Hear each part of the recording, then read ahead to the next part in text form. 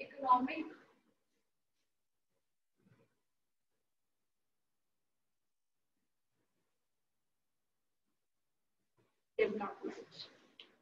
अब स्क्रीन को थोड़ा मैं ऊपर कर लेती हूँ ओके चलो। So indicators of economic development तो यहाँ पे शुरुआत होती है कि डेवलपमेंट को किस तरीके से मेजर किया जाए। यहाँ पे क्वेश्चन तो आना चाहिए ना।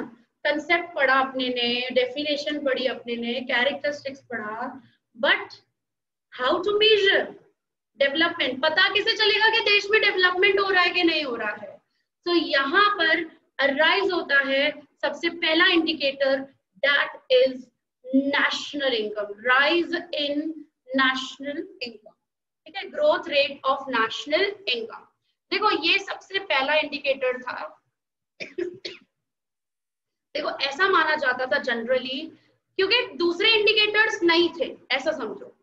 सबसे पहला इंडिकेटर हम लोग यही मानते थे that is a growth rate of national income और हम लोग ऐसा देश के अंदर मानते थे कि अगर नेशनल इनकम बढ़ेगी तो इकोनॉमिक डेवलपमेंट बढ़ेगा। अगर नेशनल इनकम कम होगी तो इकोनॉमिक डेवलपमेंट क्या हो जाएगा? कम हो जाएगा। सो so, जनरली इस तरीके से ही मेजर किया जाता था इकोनॉमिक डेवलपमेंट को पहले। चलो अब हम लोग इसका इंट्रोडक्टरी पैराग्राफ देख लेते हैं क्या लिखा है। देखो जैसे कैसे टेम्परेचर अपने चेक करते हैं ना कि हमारा फीवर कैसा है क्या है। तो बस डेवलपमेंट को भी चेक करने के लिए हमारे पास क्या था? Growth rate of national income सबसे पहला इंडिकेटर देखो क्या लिखा है? Has the country achieve economic development और not if so how fast is have taken place how much is the economic development of a country, to know and to measure it, we should consider various factors. Such factors are identified as an indicators of the development, economic development. Measuring rods भी बोल सकते हो, standards भी बोल सकते हो. क्या क्या बोला जा सकता है इनको? Indicators बोले, या फिर मेजरिंग rods बोले, या फिर फैक्टर्स बोले हम लोग. मेजरिंग नॉट्स बोलो या फिर फैक्टर्स बोलो या फिर स्टैंडर्ड्स बोलो। तो कुछ भी कहा जाता है इसको जो भी आप बोलना चाहो आप बोल सकते हो। दीज इंडिकेटर्स इंडिकेटर का मतलब ये होता है जो इंडिकेट करे कि देश में कितना डेवलपमेंट है। These indicators which measure the rate of economic development and its extent can be presented in numerical and statistical terms as you all know कि even growth rate of national income भी इसमें देखा जाता है? Numerical form में। मैं बोलती हूँ ना जीडीपी देश का। That is for example two lakh crore so that is what numerical form में है ना? और इवन स्टैटिस्टिकल टर्म्स में क्यों बोला है? कि इवन अगर हम लोगों को कंपैरिजन करना हो डिफरेंट कंट्रीज़ का या क्या तो भी हम लोग इजी तरीके से कर सकते हैं। नेक्स्ट क्या लिखा है? Though sorry through this indicators a comparison of two countries and two time periods तो देखो, हम कंपैरिजन कर ही रहे ना, कि आज के टाइम पर 2020 में ये जो क्वार्टर हुआ तो सरकार ने अपना वादा पूरा किया डबल डिजिट जीडीपी का। चाहे पॉजिटिव हो, चाहे नेगेटिव हो। It doesn't matter actually for the government लेकिन सरकार ने जो वादा किया था कि यस डबल डिजिट का जीडीपी वो लाकर रहेगा। सो यस ला लिया सरकार ने। It's minus it's negative 23.9 GDP जो हम लोग क्या कर रहे हैं? दूसरे सारे टाइम पीरियड्स जैसे लास्ट कुछ इयर्स का अगर हम लोग कंपैरिजन करें तो सबसे लोएस्ट जीडीपी ये क्वार्टर का आपको देखने को मिलेगा। Right right? सभी को सुना है ये सारी चीज़ें, सब लोग ने बहुत चर्चाएँ हो रही है ये सारी चीज़ों पे। So everyone knows about this yes or no? Everyone know about this? तो सरकार किस तरीके से मीडिया का यूज़ कर रही है? और ये जीडीपी को? इसके रिलेटेड तो कुछ दिखाया ही नहीं जा रहा है कुछ बताया ही नहीं जा रहा है। कंट्री क्या कर रही है किस तरीके से कर रही है? बस मीडिया पे सिर्फ़ क्या दिखाया जा रहा है? TV channel Rhea Chakraborty. Ma'am Rhea Chakraborty. और किस तरीके से कंगना रनौत और शिवसेना का झगड़ा हो रहा है? किस तरीके से क्या हो? बस टीवी चैनल्स पे वही सारी चीज़ें दिखाई जा रही है।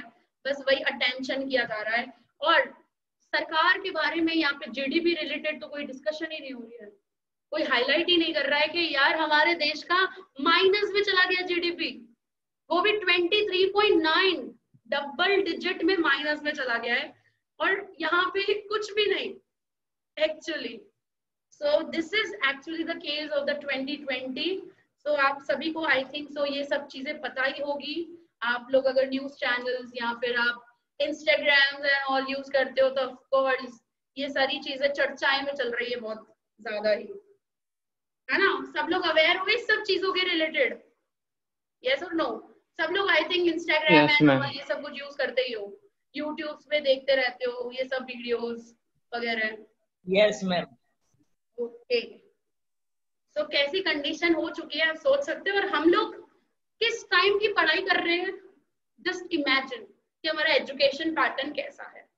हम लोग समझ रहे हैं growth rate of national income कि भाई उसकी वजह से इकोनॉमिक डेवलपमेंट होता है। एंड नाव डेज़ इतने सारे अलग अलग तरीके आ चुके हैं और अभी तक हम लोग यही चीज़ पढ़ रहे हैं कि देश का इकोनॉमिक डेवलपमेंट क्या होता है, देश में जीडीपी क्या होता है। ट्वेल्थ वाले बच्चों को ये चीज़ समझाई जाए मतलब आप सोचो कि हम लोग की एजुकेशन कितनी पीछे। चलो, कोई बात नहीं, अभी आप लोगों को एग्ज़ाम देनी है तो हम लोगों को पढ़ाना ही है इस चीज़ के रिलेटेड बट प्रैक्टिकली नॉलेज होना चाहिए आप लोगों को, ये सब चीज़ों के रिलेटेड और क्या चल रहा है किस तरीके से इकोनॉमी में चल रहा है क्योंकि आप ऐसे सोचो कि आप बहुत मतलब सारी चीज़ों का आप लोगों ने एक्सपीरियंस किया है। So whether it is a it was a demonetization or uh, it was a gst and all या फिर अभी जो 2020 का सीन है। सो so, आपने इकोनॉमी के हर एक फैक्टर को आपने एक्सपीरियंस किया है। तो this is very easy actually ये सब्जेक्ट पूरा आपके लिए क्या हो जाता है? बहुत इजी हो जाता है समझना। ठीक है? बिकॉज़ प्रैक्टिकली हम लोग यही चीज़ें देख रहे हैं हमारे आँखों के सामने। ओके okay, चलो। क्या लिख रहे हैं यहाँ पे? Just as thermometer measures the changes in the temperature of the human body and records its development indicators measure the country's development इसी तरीके से हमारे को यहाँ पे जो इंडिकेटर्स दिए गए हैं, हमारे बुक के अंदर, उन इंडिकेटर से हम लोग डेवलपमेंट को मेजर करेंगे। So some of the indicators of the economic development are as follows तो सबसे पहला क्या है?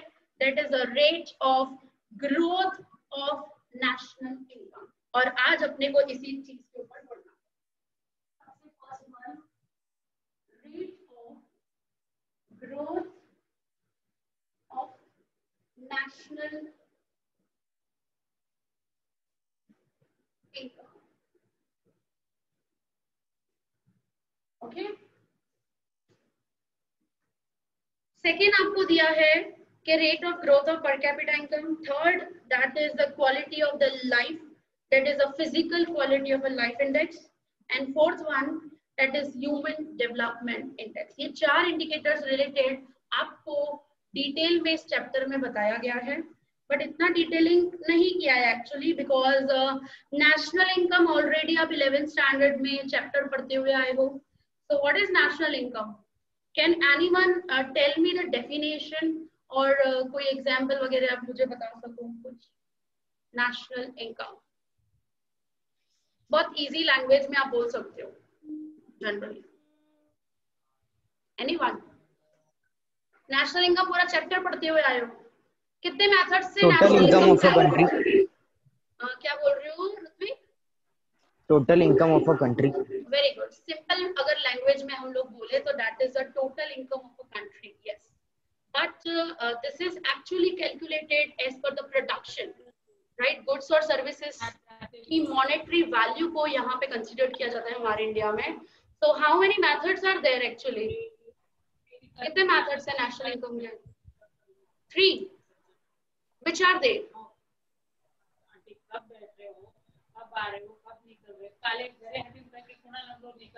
थोड़ा ज़ोर से प्लीज़ आवाज़ नहीं आ रही मुझे। थोड़ा ज़ोर से। सो दैट इज़ एक्चुअली कितने मेथड्स थे नेशनल इनकम के? Tell me three methods, but which are they? Actually, first one is the production method that can also be called as a value added method. Second one that is a income method and third one that is expenditure, expenditure method. Expenditure method. Expenditure method. इसके ये तीनों methods related थोड़ी चर्चा करेंगे हम लोग but सबसे पहले एक सेकेंड सबसे पहले डेफिनेशन लिखेंगे नेशनल इनकम की। It's a very easy definition we have considered monetary value of finished goods and services produced in India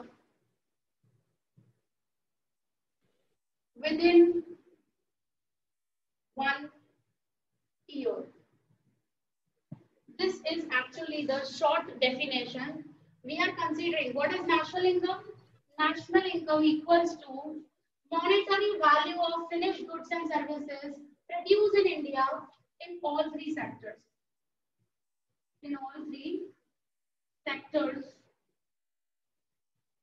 within one year.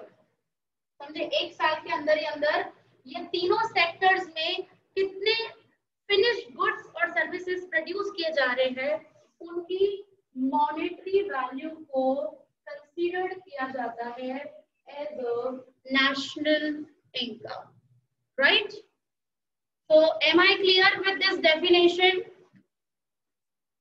everyone clear yes okay ma'am एक और बार समझा दो within one year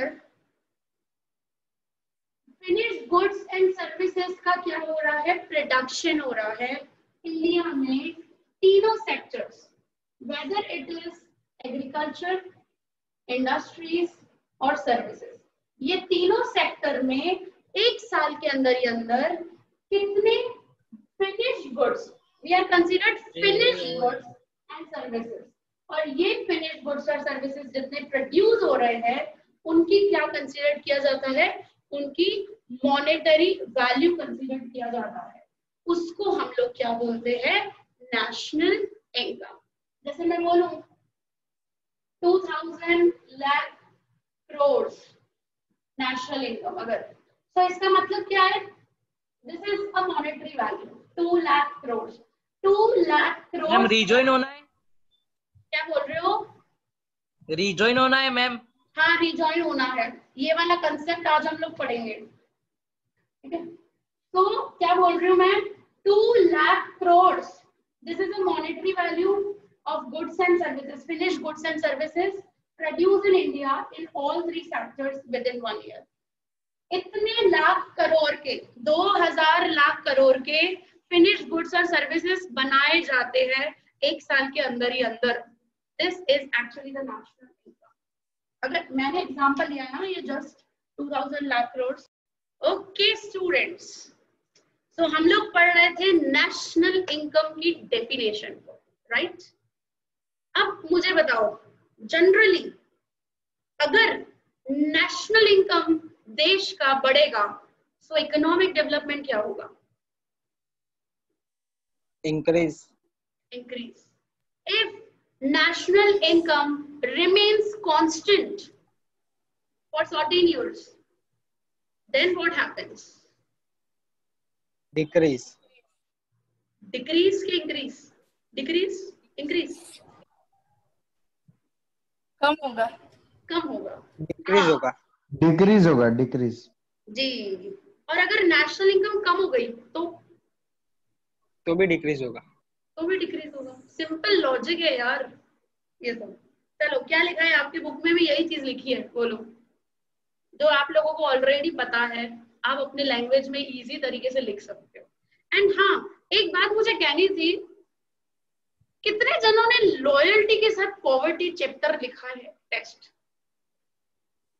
क्योंकि मुझे ना मज़ा आ गई पेपर चेक करने में। पॉवर्टी चैप्टर लिखा काफ़ी अच्छा है। मतलब जैसे मैंने स्टेटमेंट्स वगैरह पूछी थी और सब तो लिखा अच्छा है। लेकिन मुझे पता चल गया किसने क्या किया है। तुम लोग कितने भी कुछ भी हो सो हम लोग टीचर्स हैं। हम लोगों को पता चल जाता है।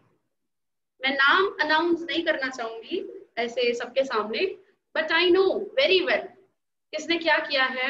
बट सच में जितना भी मैंने पेपर्स चेक किया I literally feel very good कि आप लोग ने जैसे स्टेटमेंट्स वगैरह अच्छे से लिखा है। बट प्लीज़ ट्राई और अच्छे से ट्राई करो, मैं तो बोलती हूँ। और अच्छा लिख सकते हो आप लोग। जितना मैंने फ़र्स्ट पेपर देखा था और सेकंड पेपर का जो डिफरेंसेस मुझे दिखे वो बहुत अच्छे थे एक्चुअली और आप लोग में कैपेबिलिटी तो है। ऐसा नहीं है कि नहीं है कैपेबिलिटी लिख सकते हो ज़बरदस्त का। ट्राई थोड़ी प्रेजेंटेशंस वगैरह पे ध्यान दो, ठीक है? और ग्राफ्स में काफ़ी जनों ने मिस्टेक की थी। उस चीज़ को मैं बताऊँगी एंड ऑफ़ द लेक्चर में ये सबसे पहले हम लोग इस चीज़ को डिस्कस कर ले चलो। Growth rate of national income क्या लिखा है यहाँ पे? according to this indicator a country is said to have attained economic development if there is continuous rise in real national income of a country for a longer period of a time क्या बोल रहे हैं यहाँ पर क्या लिखूंगी मैं यहाँ पे इकोनॉमिक डेवलपमेंट कब कहा जाएगा if rise in national income of a country. यहाँ पे कंटिन्यूअस आएगा continuous rise in the national income of a country for longer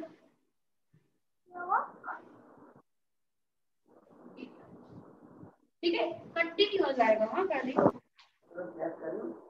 खाली so, अगर नेशनल इनकम कंटिन्यूसली बढ़ती है लॉन्गर पीरियड के लिए तो कहा जाएगा कि अपने देश में भाई क्या हो रहा है? हमारे देश में तो इकोनॉमिक डेवलपमेंट हो रहा है। ठीक है? If the rate of rise in national income is high the development is said to be high क्या बोल रहे हैं? अगर नेशनल इनकम का रेट ज़्यादा है तो डेवलपमेंट ज़्यादा है। अगर नेशनल इनकम का रेट बढ़ रहा है लेकिन लोअर रेट से, जैसे फॉर एग्ज़ाम्पल मैं ऐसा बता सकती हूँ पहले बढ़ रहा था एवरी ईयर फाइव परसेंटेज या टेन परसेंटेज से, लेकिन कुछ सर्टेन लास्ट ईयर से इंक्रीज हो रहा है, लेकिन किसमें? लोअर रेट से, दो परसेंटेज से, तीन परसेंटेज से, ऐसे। लेकिन पहले बढ़ रहा था पाँच परसेंटेज से, दस परसेंटेज तो इकोनॉमिक डेवलपमेंट भी क्या हो जाएगी? धीरे धीरे कम होती जाएगी। राइट देखो क्या लिखा है? If the national income increases but at the lower rate बढ़ रही है, लेकिन कम रेट से बढ़ रही है। The rate of development is low if national income does not rise अगर बढ़ नहीं रही है national income then it depicts it shows the state of stagnancy क्या बोला जाएगा? इकोनॉमिक डेवलपमेंट क्या हो जाएगा? रुक जाएगा। So the state of stagnancy and if national income decreases then there is under development of a country, right? Or a negative development. देखो, क्या चार चीज़ें यहाँ पे बताइए generally national income economic development high, national income increases but at lower rates. Economic development rise at lower rate. और तीसरी चीज़ बताई है नेशनल इनकम अगर क्या हो गया है not rise okay doesn't rise then economic development क्या हो जाएगा? Stagnant and national income decreases कम हो जाता है. सो so, क्या हो जाएगा? अंडर डेवलपमेंट और negative development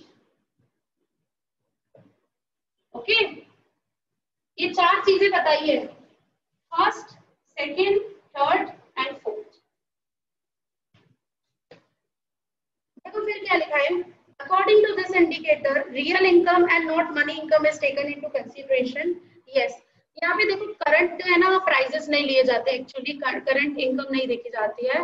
That can also be called as a monetary income. आप लोगों ने वो इंडेक्स इंडेक्स नंबर चैप्टर में पढ़ा होगा ना? Base year and the current year prices पढ़ा है वो chapter chapter number one statistics में. यस मैम हाँ उसके अंदर था ना बेस ईयर और करंट ईयर तो करंट ईयर के प्राइजेस एंड ऑल नहीं देखे जाएँगे यहाँ पर. समझे? किसके लिए जाएँगे? यहाँ पे क्या कंसीडर किया जाएगा? बेस ईयर लिया जाएगा. कैलकुलेट करने में. देखो लिखा है hence national income is calculated not at current prices but at the constant prices constant prices means that is the base year okay so मैं तो लिख देती हूँ ये चीज़। तो यहाँ पे लिख देती हूँ national income is calculated on base year prices.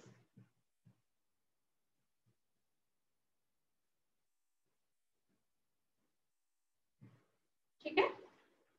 Current prices पे नहीं लिया जाता है। कभी भी कभी भी कैलकुलेशन करना हो ना तो बेस ईयर के प्राइसेस को ही कंसिडर किया जाता है for the study for the measurement ठीक है? अब यहाँ पर आपको टेबल दी है। कंट्री दिए है और annual growth rate of national income in percentage दिया हुआ है। अब क्या लिखा है यहाँ पे? नॉर्वे नॉर्वे का है खाली 2.2 percentage growth rate of national income America का है 2.4 परसेंटेज ओनली श्रीलंका का 4.5 China 7.3 India 7.3 and Pakistan 4.7 so हमारा तो सबसे देश आगे चल रहा है यहाँ पे तो growth rate of national income में एवरी ईयर 7.3 परसेंटेज का आपको ग्रोथ रेट देखने को मिल रहा है। और ये प्रेजेंट किया है source World Bank and economic survey 2015-16 के अकॉर्डिंग ये टेबल पूछी थी और 2020 के उसमें. 2020 के पेपर में मार्च अभी जो था पेपर उसके अंदर ये वाली टेबल पूछी थी ग्राफ के अंदर. और बोला था बार ग्राफ बनाओ. और सोर्स uh, नहीं दिया था उसके अंदर. तो मैंने आपको बोला अगर सोर्स नहीं सोर्स अगर नहीं दिया जाता है तो अपने को नहीं लिखने का और इसमें बारग्राफ बनाया था। अब मेरे को बताओ ये टेबल देखकर कि सबसे अच्छा सबसे highest growth rate of national income कौन सी कंट्री का है? यहाँ कौन कौन से India India and China India and China ये टेबल में तो ऐसा शो हो रहा है।